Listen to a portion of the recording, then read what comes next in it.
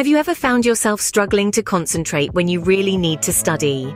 It's a common scenario that many of us can relate to. Balancing a whirlwind of thoughts, distractions, and sometimes even procrastination can make focusing seem like a Herculean task.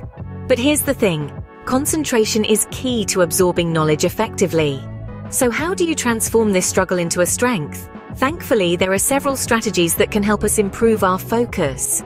You're not alone in this struggle, and there are several strategies available to help improve your focus. The first step in conquering focus issues is effective planning. Now, you might be thinking, why is planning so crucial?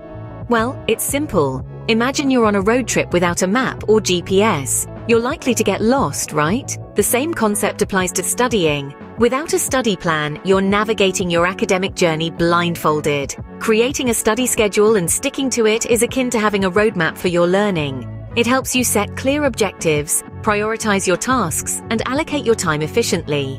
What's more, it helps you avoid cramming, which often leads to stress and subpar performance. Moreover, breaking your study sessions into manageable chunks and taking regular breaks can significantly enhance your focus. It's like giving your brain the much needed pit stops on your academic road trip.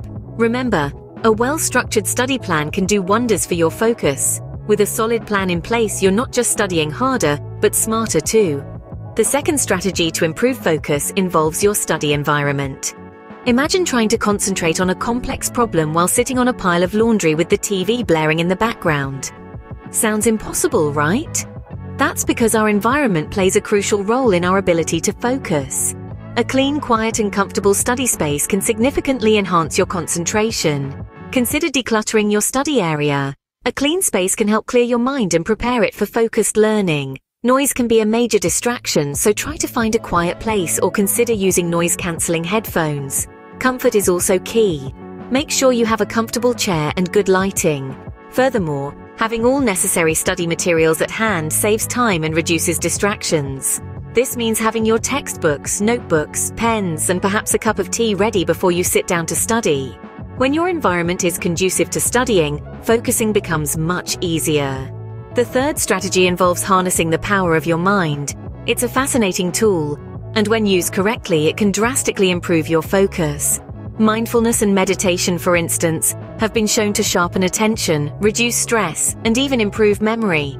By simply setting aside a few quiet moments each day to clear your mind, you can reap these benefits. Visualization is another powerful technique. If you can see yourself succeeding in your studies, your mind begins to believe it too. It's like a self-fulfilling prophecy. Visualize the knowledge you're trying to absorb, see it clearly, and watch your understanding deepen. Positive affirmations can also play a key role in maintaining your focus. Tell yourself, I can do this, I am capable.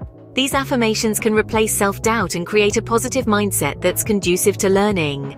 By keeping your mind calm and centered, you can significantly boost your ability to focus. Let's quickly recap the strategies we've discussed for improving focus. First off, we dove into the power of planning. Remember, a well-structured plan provides a clear roadmap for your study sessions. Prioritize your tasks, break them into manageable chunks, and allocate specific time slots for each task. This approach not only makes your workload seem less daunting, but also facilitates a more focused and productive study session.